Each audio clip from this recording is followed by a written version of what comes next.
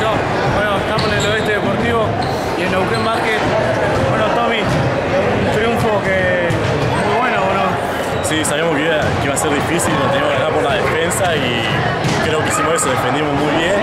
En el ataque pudimos meter, un, pudimos meter buenas bolas abajo, tuvimos buenos rebotes ofensivos, marcamos muy bien la defensa, eso fue lo más importante del partido. De acá al futuro, eh, ¿cuál es el objetivo que tiene esta categoría U17? El objetivo que tenemos entre nosotros es salir campeón, o sea, ganar el torneo acá en el Quino y ir, seguir clasificando más adelante para el Nacional, todo lo que se viene. O sea, pero sabemos que es muy difícil, tenemos que meter mucho trabajo, mucho huevo. Bueno, Tommy, te pido un saludo para el oeste deportivo y Neuquén Básquet. Muchas gracias. Eh, hacemos un saludo al Oeste Deportivo y a Neuquén Basket.